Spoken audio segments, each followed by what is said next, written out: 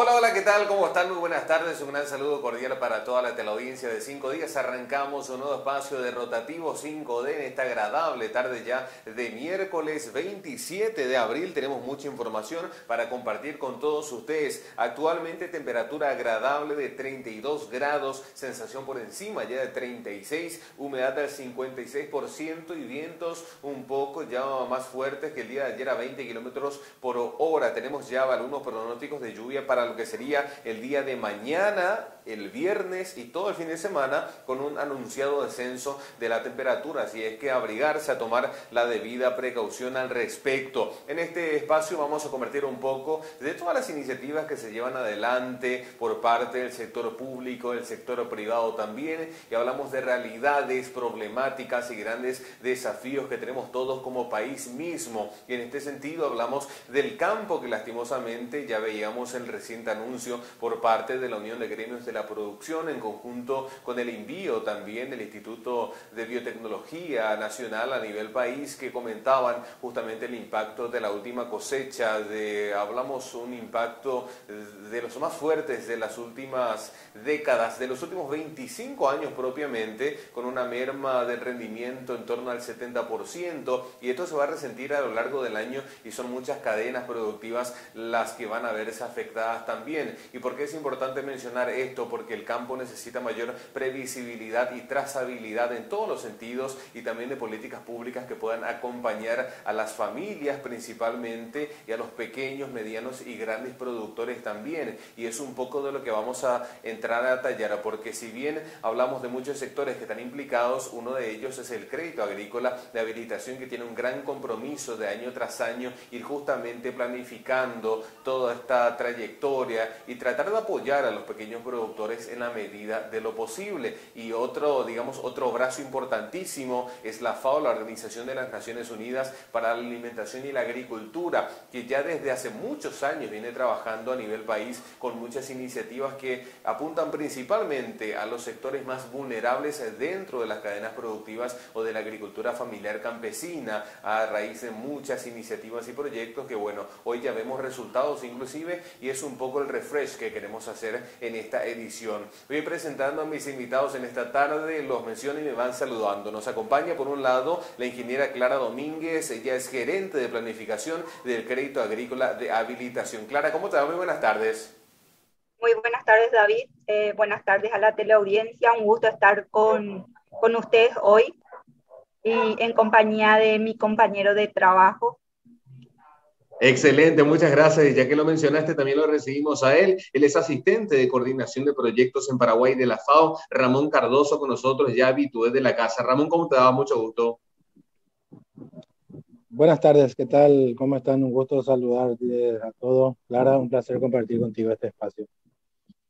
Excelente, bien, y vamos a arrancar con esto y justamente hablar más que nos compete en esta tarde de créditos para el desarrollo rural de las mujeres y los jóvenes en el campo principalmente. Clara, tengo entendido que desde el crédito tienen un gran trabajo, una agenda cargadísima para este 2022 y hablamos de un sector donde el perfil de riesgo quizás no es de los mejores. Asimismo, sí, tenemos y apuntamos a un sector eh, que yo creo que la mayoría de las personas lo conocen. Por Carta Orgánica tenemos eh, la finalidad de asistir a microemprendedores y pequeños productores, principalmente del sector rural. Entre esto, el crédito agrícola, desde su nueva Carta Orgánica, viene trabajando fuertemente la inclusión financiera de sectores que no tenían acceso a estos servicios financieros anteriormente. De esto están los jóvenes y las mujeres y con apoyo de FAO venimos implementando varios trabajos en este segmento. Eh, entre ellos, eh, quisiera mencionarte un poco de historia. Desde el 2010 nosotros estamos trabajando fuertemente para aumentar el porcentaje de mujeres que acceden a los créditos eh, y tenemos realmente un aumento sostenido en la cantidad de mujeres que acceden a los créditos desde el crédito agrícola habilitación. Para ello hemos implementado nuevos productos financieros, entre ellos eh, la mujer emprendedora, las bancas comunales. Entonces son productos orientados principalmente a las mujeres y también a los jóvenes como Juventud Emprendedora. Entonces, estos productos lo que buscan es que este, estos sectores se inserten al sistema financiero formal. Es así, categóricamente. En tu experiencia, ¿cómo percibís esa brecha que ya lo, hemos, ya, ya lo hemos conversado también en su momento, la brecha que se da entre el hombre y la mujer específicamente en el campo es mucho más acentuado todavía hoy día, ¿no? Sí, la mujer tiene un rol demasiado importante en toda la economía nacional. Es la que realmente eh, la encargada de la administración, es la que hereda la cultura, es la que lleva la historia. El papel de la mujer es sin duda demasiado importante. Ahora, espacios de toma de decisiones es la debilidad todavía.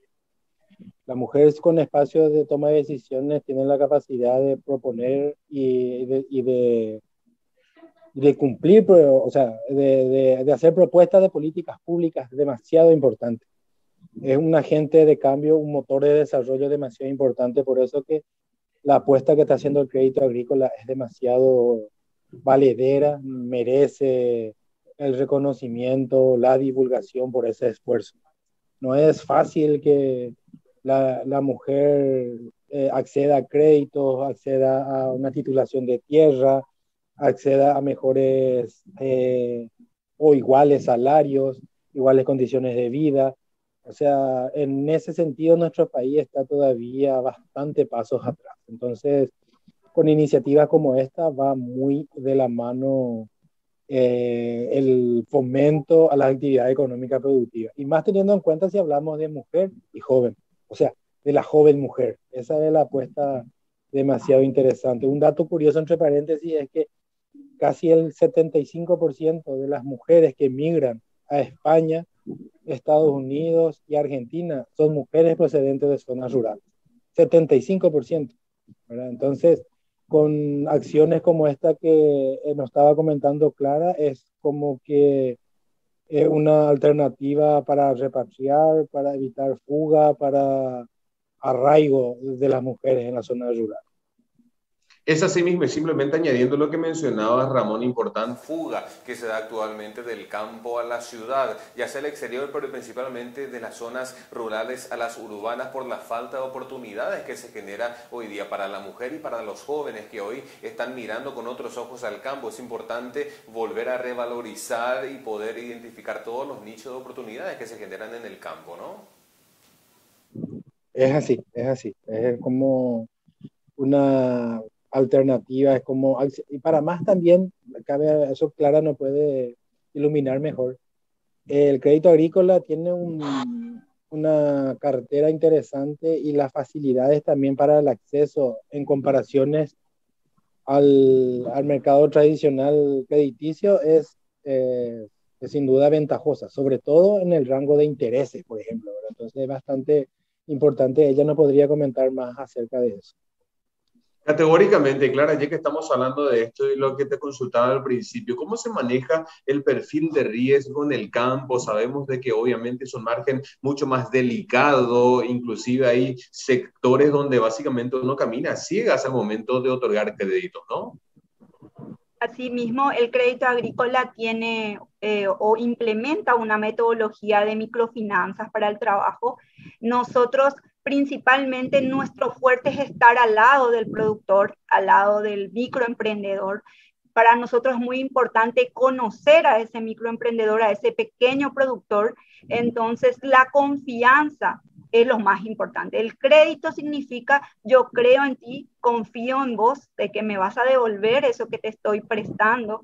Entonces, para nosotros esta metodología es muy importante, eh, principalmente porque en algunos casos, por la falta de formalidad de esos sectores, es difícil solicitar cierto tipo de documentos. Entonces, eh, lo principal es que nuestros asesores, los asesores al cliente, son las personas que están más cerca del productor, conocen a sus clientes, conocen su casa, ellos deben de conocer dónde viven, eh, cómo es la movilidad, si tuvo algún problema. Entonces, el riesgo lo tratamos de minimizar eh, desde ese aspecto, desde el conocimiento. También eh, es importante resaltar que sí, nosotros asistimos a un total de más de 92 mil eh, clientes productores directamente y estos productores también reciben servicios no financieros como la educación financiera. Y en este contexto, otra vez mencionando a las mujeres, son las mujeres las que más participan en las charlas de educación financiera. Entonces, mencionando un poco también y complementando lo que Ramón estaba eh, mencionando, en el estudio que la FAO nos ayudó a completar, eh, no solamente guiándonos en la literatura, sino que con datos del crédito agrícola pudimos comprobar que realmente las mujeres son más pagadoras, ¿verdad? Porque generalmente escuchamos que la literatura dice eso, sin embargo, nosotros con datos nuestros pudimos comprobar que realmente las mujeres son más pagadoras. Y de que vinimos desde el 2015 casi aumentando un 100% eh, el porcentaje de mujeres que acceden a los créditos. Es así que también pasa con los jóvenes, pero tenemos que decir también que quizás debemos de, de eh, permitir que ellos también tengan esa educación financiera para que eh, en algunos casos, si se desvían unos días en los, eh, o se atrasan unos días en sus pagos, entonces nosotros podamos mencionar la importancia de cumplir con la institución financiera de manera a que nosotros también confiemos más en ellos. Entonces, eh, con esto que estamos trabajando con la FAO, nosotros identificamos algunas debilidades y vamos a seguir trabajando con ello en eso. Sin embargo, las mujeres se ve el trabajo que se viene desarrollando desde ya hace un tiempo, ¿verdad? Desde el espacio con la FAO y el Ministerio de la Mujer para el Trabajo y la Inclusión Financiera al Empoderamiento de las Mujeres Rurales. Es importantísimo eso que mencionas, Clara, que los jóvenes tengan el ejemplo, por un lado, de las madres, que las madres tengan la oportunidad de demostrar todo el compromiso, que es la principal garantía y el aliciente. Consultarte esto, ¿cuál es entonces la garantía o el respaldo que tiene el crédito agrícola al momento de otorgar los créditos? ¿Simplemente parte de la confianza o de tener un seguimiento, como me decías, más de cerca con cada productora, entendiendo cuáles son sus ritmos o ciclos de trabajo? Eh, me gustaría mencionarte que el 99, vamos a decirle, 9% de los créditos del crédito agrícola son a sola flema. nosotros tenemos eh, créditos con garantías eh, reales, pero eh, son ínfimos. Nosotros, nuestros créditos se orientan directamente a la garantía personal, en donde se da mucho por la confianza, pero también así nosotros tenemos ciertos requisitos que ellos tienen que cumplir. Tenemos una calificación de clientes eh, esa calificación del cliente eh, permite que nosotros sepamos qué tipo de cliente es, si es bueno, si ha cumplido con nosotros. Y lo principal es que esos clientes en el campo ya manejan eso, saben que si nos fallan con nosotros, y en el caso el mejor cliente es el doble A, si yo soy cliente doble A del crédito agrícola de habilitación, puedo acceder a créditos de más fácil. Eh, por ejemplo, tenemos un crédito que se llama apoyo ASA. Apoyo ASA significa nos pasamos la mano mutuamente, ¿verdad? Entonces, este crédito es un crédito preaprobado que el productor, eh, cuando lo necesite, lo puede acceder si él es un cliente bueno de excelencia con nosotros. Entonces, eh, la garantía generalmente, en el caso de los jóvenes, nosotros tenemos productos financieros como por ejemplo el de Juventud Emprendedora, tenemos Baretena, es un producto que se lanzó para estudiantes universitarios que están terminando su último año para que puedan desarrollar eh, sus actividades económicas. Y también tenemos un producto muy bueno que es para jóvenes egresados de escuelas agrícolas.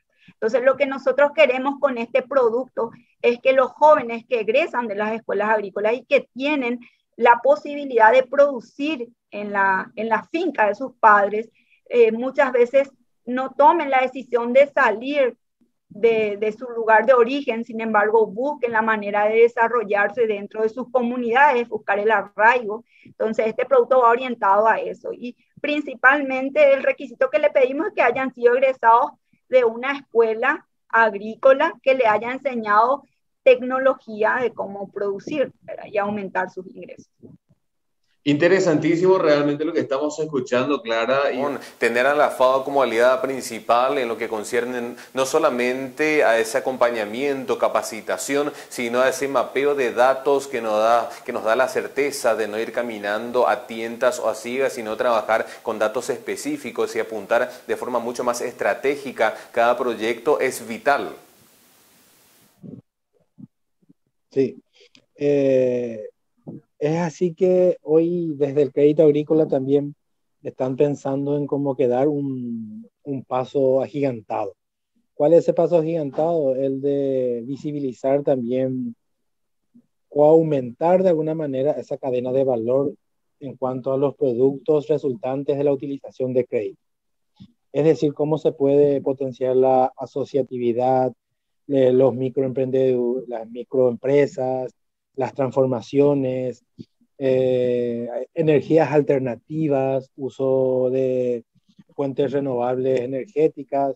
O sea, se está pensando también eso, se está pensando y allí FAO también tiene el compromiso de cooperar técnicamente con el crédito agrícola para ir reflexionando, produciendo evidencias en cuanto a eso. Entonces, creo que eso podría darle un, un empujón bastante fuerte a la recuperación económica post-COVID, teniendo en cuenta, como nos comentaba Clara, que la mujer eh, con evidencia ya es una buena pagadora, es más responsable que el varón, es más cumplidora.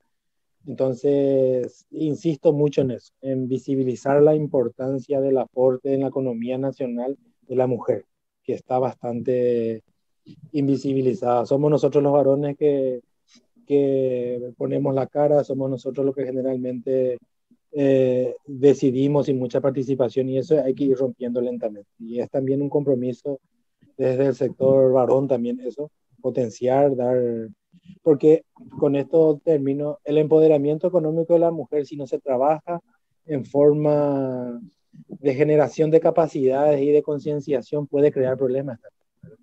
Una vez que la mujer ya toma la decisión, tiene el poder económico, tiene la decisión en el hogar, si eso no, no, no hay comprensión absoluta, crea un poco de quiebres familiares. Entonces, esta situación lo que está contemplando bastante bien el crédito agrícola y es como que, estoy hablando ya como de perspectivas para adelante. Entonces, y por ahí me quedo. Excelente, es importante romper con todo tipo de estereotipos y paradigmas ya en este 2022, juntando a un futuro mucho más equitativo y equilibrado en cuanto a la distribución. Ramón, y ya que lo mencionábamos, el aporte del campo a la economía, ¿cómo estás observando este 2022 luego de una zafra principal que nos golpeaba y que, bueno, vamos a seguir resintiendo estos números negativos a lo largo de los años, inclusive por lo menos en el corto plazo? Es así, nosotros fuimos doblemente castigados ¿no? la recesión económica causada por la eh, imposibilidad de economía formal, tradicional, cultural, de, por las restricciones del COVID en tiempos de, de, pandemia. Hoy estamos saliendo y tuvimos una doble sequía en el campo. El año pasado en el ciclo de verano y este ciclo de verano también que son como los ciclos más de aportes en, en, eh, en volumen. Es la producción de granos lo que más salen allí la producción fresca de hortalizas no, eh, es muy importante también, pero el gran volumen está en el sector de granos. Entonces, no solamente el sector público, el sector eh, campesino, el sector privado, todos están allí bastante expectantes a lo que se podría pasar. Si bien hay como un repunte eh, en en la temporabilidad y el aumento de lluvias, a veces ya exceso también ya crea otra vez problemas, está toda la realidad de cambio climático que estuvimos hablando la vez pasada. Una realidad que está ahí, está y vino a quedarse. Y a eso yo me refería a lo que el, el crédito agrícola está pensando eh, a, a, futuro. Cómo incorporar en los productos crediticios eh, acciones de protección a la naturaleza, de acciones verdes. O sea, es una necesidad hoy en día eso también yo creo que es un desafío en todas los, eh, las acciones económicas productivas. Hoy, por ejemplo, el, un conflicto tan lejano a nosotros, allá por Europa del Este, nos afecta directamente en el tema de la suba de combustible y eso es una realidad. Hoy hay manifestaciones, hay movimiento, hay malestar, hay, hay toda una cadena importante allí que, que investigar. Entonces es necesario hacer cosas nuevas, es necesario innovar. No podemos estar pensando en solucionar los mismos problemas con las mismas soluciones. Esos problemas siempre va a ser el mismo resultado. 2 más 2 siempre va a dar 4. Nunca 2 más 2 va a dar 5. Hay que innovar allí, ¿verdad? Hay que ver cómo, cómo hacemos. Yo creo que allí es una apuesta interesante de crédito agrícola que Clara nos puede comentar brevemente. Es así, definitivamente, apuntar mucho más a una economía circular, resiliente, sustentable, inclusive, que son los términos que estamos escuchando en los últimos años y por suerte vamos familiarizándonos cada vez más. Clara, consultarte esto, ¿cuáles son los requisitos que debe cumplir un productor, una familia o una mujer en este caso para acceder y formar parte ya de la cartera de clientes del crédito agrícola de habilitación? Principalmente eh, las ganas de trabajar, ¿verdad? Que uno tiene que tener un emprendimiento eh, y nosotros tenemos que ver ese emprendimiento, porque eh, para nosotros es muy importante eso. Después, los requisitos mínimos para tener, pues, contar con cédula de identidad vigente, muchas veces necesitamos que nos provean de eh, una boleta de servicios básicos, el lugar, la tenencia de tierra, no necesariamente tiene que ser eh, un título de propiedad. Muchas veces uno dice, no, no voy a poder acceder porque no tengo título. El problema de la tierra también es un problema latente en nuestro país, entonces nosotros no estamos ajenos a eso, solamente eh, que solicitamos en algunos casos puede ser un contrato, puede ser un documento del INDER, un documento de la municipalidad, eh, nosotros no, no, necesariamente solicitamos que tengan título de propiedad, pero sí una constancia del lugar donde se va a realizar el emprendimiento, porque eso es importante, como les dije, nosotros tenemos que saber dónde está la persona que va a desarrollar ese emprendimiento y cómo es su emprendimiento, porque nuestros asesores del cliente van a llegar a sus casas en el caso de que tengan algún inconveniente, porque así como estuvieron mencionando, hubo muchos problemas, el crédito agrícola disponibiliza herramientas que permitan al productor darle un alivio, si bien en el corte de trimestral yo eh, vi un aumento en las recuperaciones, eh, para nosotros también eso es eh, impactante, ¿verdad? Muchas veces si el productor no tiene buenos ingresos, nosotros no recuperamos nuestros créditos, ¿verdad? Entonces, sí, el primer trimestre vi que hubo una buena recuperación, esperemos seguir así, ¿verdad? Pero el crédito disponibiliza herramientas que le permitan al productor aliviar un poco el momento en el que les toca pasar. Entonces son principalmente son documentos, requerimientos básicos. Estamos con 80 puntos de atención en todo el país, en todos los departamentos, también estamos en el Chaco paraguayo. Entonces, es, más bien acercarse, buscar los números de teléfono y acercarse a las oficinas del crédito agrícola. Excelente, y justamente ya que lo mencionaste, Clara, consultarte esto, ¿el crédito se enfoca en zonas específicas del cinturón agrícola o digamos está abierto a las necesidades de productores de la región oriental y occidental? Estamos abiertos. Nosotros también contamos con una oficina acá en, en Asunción, eh, que está en la oficina central. Generalmente asistimos con esta oficina a zonas periurbanas, eh, podemos asistir las zonas, estamos eh, asistiendo a zonas como el Bañado, para pequeñas emprendedoras principalmente, eh, en donde le buscamos dar un, eh, con la pandemia les buscamos eh, alguna actividad que les permita generar ingresos para su familia. Entonces, estamos abiertos, si bien muchas veces los recursos tampoco son suficientes, por lo menos desde el crédito agrícola habilitación siempre tratamos de tener las puertas abiertas para el pequeño productor y para el pequeño microemprendedor. Excelente, así es que también es información pertinente para todos aquí interesados en conocer un poco más en torno al esquema de trabajo que tiene el crédito agrícola actualmente. Ramón, ¿cuál va a ser la hoja de ruta en cuanto a programas para este 2022 por parte de la FAO? Sabemos que ya que existen algunos programas que están activos, que iniciaron años anteriores, pero ¿en qué vamos a enfocarnos en este año? Yo creo lo que decía hace rato, ¿verdad? De ser una de promover, innovar, pensar, reflexionar y actuar en una agricultura climáticamente inteligente. Ahí está el cambio climático y eso debemos generar datos, incorporar tecnología desde el sector campesino indígena sobre todo. El sector privado del agronegocio está un poco más avanzado allí. Pero sin embargo, todo el, la producción de alimentos del país gira en torno a lo que pasa en el campo. Hoy cuando nos sentamos en la mesa nos sentimos resentidos y es que el campo está también resentido. Y eso golpea también a todos lados. Entonces, separar el campo de la ciudad es un error muy grande. Ahí tiene que haber como que una interacción profunda. Entonces, yo creo que eso es el desafío mayor. Cómo prepararnos para este cambio climático que ya está. Anteriormente, y insisto mucho eso, pensaba que, pensábamos que va a venir, ya está viniendo, falta todavía, pero hoy ya estamos en pleno, ya es una realidad. Y aunque hagamos acciones inmediatas hoy para que revierta esto, son 5 o 10 años para adelante otra vez, en lo más optimista posible. Entonces, eso es el desafío, hablar de agricultura sostenible, hablar de ganadería sostenible, hablar de sistema eh, asociativo, agroforestería, energía renovable, insisto mucho en eso, energía solar, energía eólica, cosecha de agua, economías del agua, eh, atención, eh, acciones anticipatorias a eventos puntuales que ya sabemos, sabemos que va a venir la sequía, sabemos que van a venir eventos eh, lluviosos muy fuertes, sabemos que vamos a tener heladas, entonces hay que adelantarse ya. Yo creo que eso es como el, el desafío más grande desde el sector primario. Y después ya todo la la cadena de logística, la cadena de valor, es todo un, un, desafío también. Entonces, yo creo que es un, una experiencia bastante interesante la que estamos llevando con el crédito agrícola. Es una apuesta verdadera, concreta, y va a tener resultados pronto.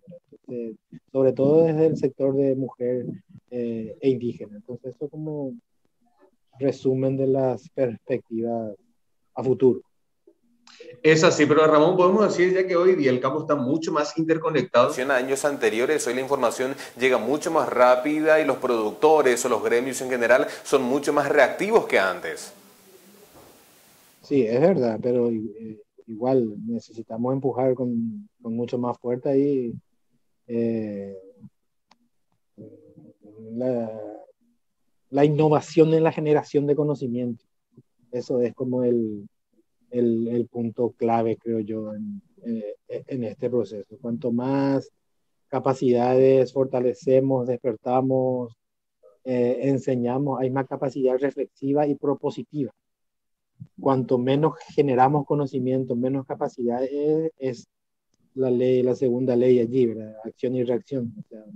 menos capacidad de reflexión ante una coyuntura actual, evidentemente va a haber menos capacidad de acción. Sin embargo, si podemos reflexionar, analizar, producir evidencia, informaciones sobre eventos puntuales eh, temáticos, evidentemente la capacidad del campo también y de los técnicos que acompañamos todo este proceso va a ser diferente también. Vamos a tener una capacidad mucho más propositiva. Definitivamente. Ahora mencionabas algunos datos al cierre del primer trimestre. No sé si te complico con esta consulta, pero ¿qué, otros, ¿qué otras informaciones podríamos compartir o qué cifras tenemos al tanto del cierre de este primer trimestre en relación a esta cartera de 92 mil clientes que me mencionabas? Sí, eh, realmente nuestra cartera es de 92 mil clientes, con, eh, monetariamente hablamos de más de eh, casi 800 mil millones.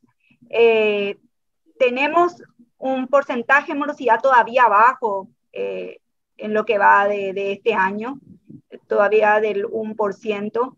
Tenemos que ver cómo se comporta durante este proceso. el dato que te estoy dando realmente te estoy dando a cierre de, del viernes, ¿verdad? Eh, tenemos que todavía ver un poquito el avance. Sin embargo, estamos esperanzados, ¿verdad?, de que podríamos seguir cerrando con buenos números, porque que nosotros recuperemos nuestros recursos significa eh, volver a inyectar eh, a la economía local de cada comunidad porque todo lo que el crédito agrícola recupera lo vuelve a, invertir en los pequeños productores. Entonces, eh, sí, eh, me gustaría mencionarte también que de esta cartera total, el 39% son mujeres. eh, el, aproximadamente el 18% son jóvenes. Sin embargo, tenemos un grupo todavía ahí de 45 o 50 años, eh, que es nuestra proporción más grande de, de, clientes. Sin embargo, ya tenemos disponibilizados esos, esos productos financieros para los jóvenes. También, como decía Ramón, eh, me gustaría mencionar que en, el plan estratégico institucional del crédito agrícola, uno de los puntos principales es poder abordar y lo más pronto posible disponibilizar productos verdes también, porque no podemos como institución estar ajenos a la problemática ambiental eh, que se genera. Entonces, eh, también en búsqueda de eso, la FAO nos está ayudando y también que podamos concienciar a los productores de la utilización de tecnología limpia. Entonces, ese es nuestro objetivo como institución eh, también dentro de, de lo que eh, tenemos proyectado para los próximos años. Sí, eh, sabemos que no es un camino fácil, pero así también el crédito tuvo muchos caminos recorridos durante estos 78 años. Yo creo que vamos a poder abordar este tema con el apoyo de la FAO. Únicamente, Clara, ya que lo mencionabas, con este alto índice en términos de recuperación y este bajo porcentaje en morosidad, me imagino que también les da la pauta a un mayor margen de movilidad e inversión en mayores proyectos. yo no quisiera decir que esto es, podría ser precipitado, ¿verdad? Porque eh, son tres meses, eh, sin embargo, eh, si nosotros recuperamos hace que nos podamos mover, más ágilmente, que más productores puedan ser insertados en el sistema financiero. Sin embargo, deberíamos esperar eh, otra vez el cierre del semestre para saber cómo realmente se va comportando. Definitivamente. Ramón, y volver también a lo que mencionábamos hace un momento, lo que estabas comentando en cuanto al compromiso, creo que ya lo habíamos conversado también anteriormente, ya que Paraguay va a formar parte de estos actores que tendrán la responsabilidad en la espalda de abastecer al mundo de alimentos. Hoy ya es una realidad y en el corto plazo también. Por ende, tendremos que llegar o tendríamos que llegar lo antes posible a cumplir en mayor medida los objetivos de desarrollo sostenible. Claro, y es como, yo creo que el desafío mayor también es tener esa mirada multidimensional. La producción no es puntual, la producción es economía, eh, es, social, es ambiental, es cultural y es un peligro muy grande si miramos solamente netamente desde el punto productivo corríamos el riesgo de hacer una productividad extractivista y eso va a patear en nuestra contra muy rápidamente. Entonces, es cierto, es una responsabilidad de producir alimentos, pero el costo-beneficio en lo económico, social, ambiental, cultural es demasiado, demasiado importante. Y concuerdo con Clara poniendo como punto más de referencia lo ambiental hoy día todavía lo ambiental está como allá en el peldaño último. Lo ambiental es como que hoy todavía la tela se corta de acuerdo a los análisis económicos y a la rentabilidad que va a dar una acción. Eso lentamente, no es lentamente, es rápidamente deberíamos como ir incluyendo el otro enfoque. Es, eh, es muy, muy, muy importante. Si no, eh, hablando con la Mm, con extensionista de crédito agrícola de habilitación. Creo que comenté la vez pasada. En, este, en enero, cuando tuvimos acá 40, 45 grados, tomaron temperatura de suelo y le marcaba 60 grados centígrados el suelo. Imagínate, ¿qué, ¿qué cultivo va a vivir allí? ¿Qué vamos a comer así? Y esto puede ser ya cíclico. No quiero asustar con esto, quiero ser realista. Quiero ser realista de que es el momento de, de mirar con otros ojos, analizar de otra manera, incluir otras variantes, eh, acomplejar los indicadores. Eh, ese es como que el, el, el, desafío grande, no mirar de la manera simplista, indicadores sencillos, productividad, rentabilidad rápido, retorno de capital, sino complejizar más, sobre todo desde la perspectiva ambiental y social y cultural. Sin lugar a dudas, porque inclusive los grandes autores y referentes de meteorología, hablando del doble fenómeno de la niña que afectó, que nos está afectando, e inclusive algunos más extremistas por parte de los Estados Unidos hablan de un tercer fenómeno de la niña. ¿Cómo el Paraguay se podría preparar para paliar esto? Definitivamente no tenemos las condiciones necesarias para poder hacer frente a una coyuntura adversa a nivel climatológico. Pero bueno, lastimosamente por cuestiones de tiempo me voy quedando sin espacio. Clara, más que nada pedirte un mensaje que podríamos dejarle a la teleaudiencia en torno de, al acompañamiento que lleva el crédito agrícola de habilitación actualmente para todos los grandes clientes que son el futuro del país al fin y al cabo. Asimismo, principalmente a las mujeres y a los jóvenes que busquen al crédito agrícola es una herramienta importante para aquellos que tienen una idea de emprender eh, y también eh, garantizarles que nosotros estamos para apoyar al pequeño eh, productor y microemprendedor, tanto con eh, servicios financieros como también no financieros, o sea, siempre brindando ese servicio a la comunidad de eh, poder traspasar conocimientos importantes de cómo manejar nuestros recursos que hacen que las familias puedan realmente sortear algunas dificultades. Excelente mensaje, nos quedamos con eso. Clara, más que agradecerte por tu... Realmente, como yo siempre lo digo, esperando que no sea la última entrevista. Muchas gracias.